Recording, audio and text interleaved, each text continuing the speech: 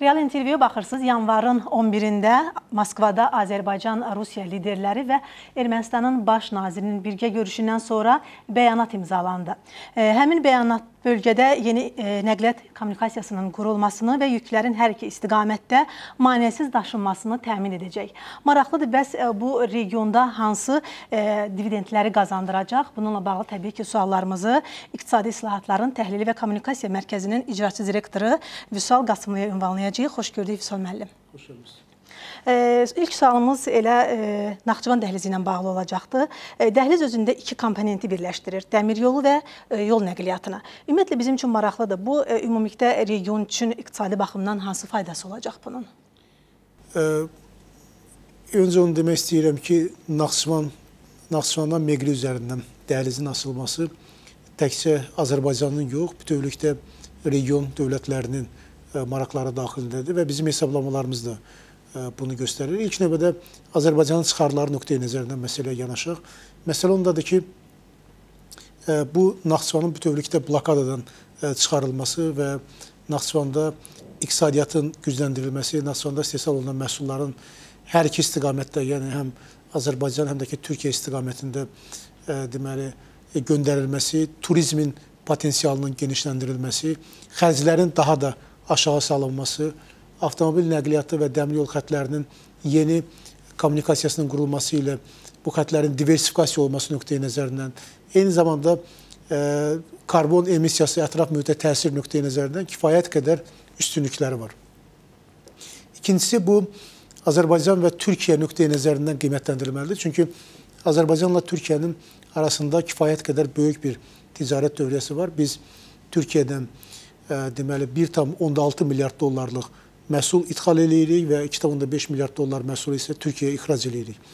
Və bu ixal-ixrac əməliyyatları 4 milyard ABŞ dolları civarındadır və bu nöqteyi nəzərdən də Azərbaycanın indiki halda Naxçıvan üzərindən Türkiyənin həm daxili bazarına, həm də ki, Qara dəniz və Aralıq dənizi limanlarına çıxış imkanları yaranır. Bu bizim e, belə deyək ki, aktivimizə yazıla bilər və eyni zamanda Türkiyənin də Azərbaycan üzərindən Orta Asiya, Çin, və Rusiya çıxış imkanları e, formalaşır. E, xüsusi olaraq qeyd etmək lazımdır ki, e, bizim apardığımız iqtisadi riyazi modelləşdirmə təhlilləri onu göstərir ki, kommunikasiyalar açılacağı təqdirdə Azərbaycan ixracı bütövlükdə 1,2 milyard manat artacaq. Bu Azərbaycanın qeyri-neft ümumi daxili məhsulunun artımına 2% əlavə təsir göstərəcək. Xüsusən də ki, emal sənayesində deməli 3%lik artımı biz proqnozlaşdırırıq və eyni zamanda e, hasilat sənayesində də deməli artım təsirləri e, olacaqdır. Yəni Azərbaycan nöqteyi nəzərdən götürəndə bu kifayət qədər cəlbedici bir projedir və eyni zamanda qeyd etmək lazımdır ki, bu təsirlərlə yanaşı həm də Qarabağın reinteqrasiyasında özünün də təsirləri olacaq. Çünki bizim ümumi tarazlıq modeli əsasında hesablamalarımız onu göstərir ki, Qarabağın Azərbaycan iqtisadiyyatına reinteqrasiyası, e, yenidən inteqrasiyası nəticəsində ilk dövrdə deməli kənd təsərrüfatında təsir 10%-in üzərində olacaq. Emal sənayesində, turizmdə e, təsir təxminən 5%-in ətrafında olacaqdır. Digər sahələrdə 1,4%lik təsir olacaq. Gördüyünüz kimi e, Azərbaycanın iqtisadi maraqları kommunikasiyaların açılması ilə tamamilə təmin olunacaqdır. Ayrı-ayrılıqda bu ümumiyyətlə Ermənistana deyək ki, Türkiyə hansı dividendləri qazandıra biləcək? Məsələn, üçün biz indi Azərbaycandan danışdıq. Ayın 11-də olan görüşdə də biz gördük ki, ümumiyyətlə Paşinyan ə, e, biraz tərəddüdlər içərisindədir, amma ki, ekspertlər də söyləyir ki, iqtisadi baxımdan ə, e, Ermənistan da burada qazana bilər. Əlbəttə Ermənistanın ə, e, qazancı daha çox olacaq. Nə mənada? Çünki hətta bu kommunikasiyalar açılmasa belə Azərbaycan və Türkiyə regional kommunikasiyalar bundan əvvəl həyata keçirilmişdi və Ermənistansız həyata keçirilmişdi. İndiki halda Ermənistana sadəcə şans yaranır ki, bu imkanlardan istifadə edilsin və Ermənistan üçün biz təsirləri hesablamışıq. Ermənistanın kommunikasiyaların açılmasında ilk üstünlüyü ondan ibarət olacaq ki, Ermənistan Azərbaycanın üzərindən deməli Rusiya bazarına çıxış imkanları əldə edəcək. Çünki bundan əvvəlki münaqişə, xüsusən də Abxaz münaqişəsi zamanı Abxaziyadan Ermənistana gələn dəmir yol xətti bağlanıb və eyni zamanda Gürcüstan üzərindən Ermənistanın yuxarı Lars keçid məntəqəsindən istifadə edərək Rusiya bazarlarına çıxış imkanları kifayət qədər məhduddur. Xüsusən də ki, mövsüm amillərini qış zamanı nəzərə almaq şərti ilə. Və belə olduğu təqdirdə Ermənistanın ticarət dövriyyəsinin 25-30%-ni təşkil edən Rusiya ilə dəmir yolu əlaqəsi Azərbaycan üzərindən ola bilər. Burada iki xətt var. Onlardan birincisi deməli Gümrüdən Naxçıvan, Meqri və Zəngilan-Bakı xəttidir ki, bu dəmir yol xətti və avtomobil yolu xəttindən Ermənistan Rusiya bazarına çıxa bilər. İkinci xətt isə İcivandan Qazaxa olan xəttdir ki, o da Bakıdan deməli təzədən deməli Rusiya bazarına çıxmaq imkanları yaradır. İkinci istiqamət Ermənistanın İranla əlaqələridir. Bildiyiniz kimi Ermənistan uzun müddətdir ki, İranla deməli dəmir yol xəttinin çəkilməsi ilə bağlı danışıqlar aparır, müxtəlif investorlara bu layihələr təklif edir. Təsəvvür edin ki, bu layihənin qiyməti 3 milyard ABŞ dollarıdır. Və heç kim Meqrinin o dağlarından bu e, dəmir yol xəttini çəkməz. Heç bir investor da yaxın durmadı buna. Və e, indi indiki halda isə Ermənistan sadəcə Naxçıvan üzərindən Culfa stansiyasından e, İranla əlaqələrini genişləndirmək imkanlarına malikdir dəmir yol xəttindən.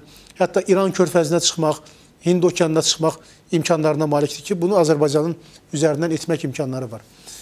Və əks istiqamətdə deməli Türkiyə istiqamətində də onu qeyd etmək istəyirəm ki, Xüsusən də gələcəkdə e, Ermənistanın dəmir yolu xəttlərindən əgər e, Ermənistan bütün əlbəttə özünü rasional apararsa, inteqrasiya proseslərinə qoşularsa, belə bir imkan yaradılacaq. Gümrük qarşı xəttinin e, çəkilməsi də mümkündür. Yenə deyirəm, bu Ermənistanın özünün nə qədər rasional aparmasından asılıdır. Bu Ermənistanı artıq Türkiyə bazarına və eyni zamanda Türkiyənin üzərindən Aralıq dəniz hövzəsinə və Qara dəniz limanlarına çıxmaq imkanları yaradır. Və gördüyünüz kimi Ermənistanın burada imkanları, yəni ki, daha doğrusu şansları böyükdür və bizim qravitasiya modelləri göstərir ki, ilk dövrdə əgər kommunikasiyalar açılarsa, Türkiyənin payı indiki Ermənistanın ticarət dövriyyəsində 3%-dən 13% artacaq. Azərbaycanın payı deməli 0-dan 1%-ə qədər qalxa bilər. Amma gələcəkdə bu Ermənistana sərmayə qoyuluşu imkanları yarada bilər. Çünki Elə dünən də Ermənistanın öz ekspertləri açıqlamışdı ki, 38 milyard dollar ziyan dəyib və bunun 2 milyard dolları təkcə infrastruktura dəyən ziyandır. Və Ermənistanın əgər nəzərə alsaq ki, tədiyyə balansında, cari əməliyyatlar hesabında və dövlət büdcəsində xroniki kəsir var, Ermənistan heç bir halda bu sərmayələri cəlb edə bilməyəcək və yeganə yol odur ki, o ə, belə deyək ki, xarici borclanmaya getsin. Bu da ümumiyyətlə Ermənistanın inkişafı yox, Ermənistanın olub qalmaq məsələsini həll edə bilər. Ona görə mən düşünmürəm ki, Ermənistanın başqa yolu var ə, kommunikasiyalardan ə, qoşulmaqdan və ona görə də Ermənistan bu kommunikasiyalara qoşulmağa məhkumdur. Əks təqdirdə əlbəttə onu çox pis ə, nəticələr gözləyir. Vüsal müəllim, deməli bu layihəyə bu layihədə imzası olmayan ölkələr var. Sizcə məsələn bu dəhlizdən istifadə edə bilərlərmi? Ümumiyyətlə etsələr onların qazancı nə olacaqdı? Bilirsiniz, e, möhtərəm cənab prezident İlham Əliyev e, e, noyabrın 10-da e, üç tərəfli müqavilə imzalanarkən e, Naxçıvanla e, kommunikasiyanı nəzərdə tutan, e, dəhlizi nəzərdə tutan bəndi ora əlavə etməklə əslinə qalsa regionun yeni geoiqtisadi xəritəsini çəkir və regionun e, nəqliyyat arxitekturası, logistika arxitekturası yenilənir. Və Cənubi Qafqaz regionu nəzərə almaq lazımdır ki, şərq-qərb və şimal-cənub dəhlizlərinin üzərindədir. Siz təsəvvür edin ki, bütün indi mənim sizə sadalayacağım ölkələr hamısı bu kommunikasiyaların açılmağında maraqlıdır. Niyə? Məsələn, bu günləri İran bax e, Cənubi Qafqazın bu kommunikasiyalarından istifadə edib Avropaya çıxmaq imkanlarına malikdir. Avropa ilə İranın illik ticarət dövriyyəsi 25 milyard ABŞ dollarına bərabərdir. Hər iki tərəf, həm Avropa İttifaqı, həm İran bunda maraqlıdır. Türkiyə bax bu kommunikasiyalardan istifadə edərək ə, e, deməli Orta Asiya çıxmaq imkanlarını ə, e, saxlayır və Orta Asiya ilə Türkiyənin bugünkü ticarət dövriyyəsi 6 milyard ABŞ dollarıdır. Türkiyə ilə ə, e, Çinin arasındakı ə, ticarət dövriyyəsi 21 milyard ABŞ dollarıdır. Hansı ki, ə, hər iki ölkə, deyək ki, Türkiyə və Çin bu imkanlardan istifadə edib bir-birindən əlaqələri genişləndirə bilərlər. Türkiyə Azərbaycanın üzərindən Rusiya ilə dəmir yolu əlaqəsi qazanır. Əlavə dəmir yolu əlaqəsi. Nəzərə alın ki, e, Rusiya-Türkiyə ticarət dövriyyəsi e, son rəqəmə görə 28 milyard ABŞ dollardır, amma e, Türkiyənin və deməli Gürcüstan deməli Rusiyanın rəhbərliyi bu ticarət dövriyyəsini 100 milyard dollara qədər artırmaq planları var ki, bu da əlavə kommunikasiyalar, nəqliyyat əlaqələrinin olmasını tərcih edir. Və yaxud da ki, Çinlə Avropa İttifaqının arasındakı əlaqə hansı ki, yenə də bu orta koridordan bizim üzərimizdən keçir. Bir gün ərzində 1,5 milyard ABŞ dollarıdır.